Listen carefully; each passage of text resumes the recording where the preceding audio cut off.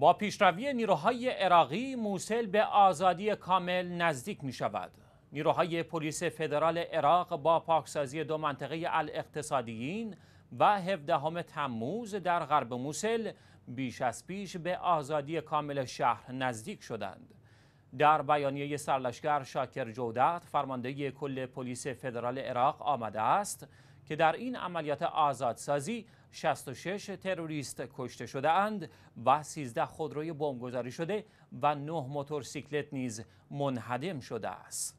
نیروهای عراقی پس از این دستاورد به سمت مناطق الشفا و النجار حرکت کردند و درگیری در حال حاضر در منطقه النجار جریان دارد. چهار منطقه الموسل القدیمه، الزنجبیلی، الشفا و باب السنجار تنها مناطقی هستند که هنوز در اشغال سنی های تندروس عمده مقاومت تروریستها در این منطقه با استفاده از تکتیراندازها و خودروهای انتحاری است و به گفته پلیس فدرال عراق تاکنون 172 تکتیرانداز داعش در غرب موسل از پا درآمدند و 373 وسیله نقلیه بمبگذاری شده منهدم شدند.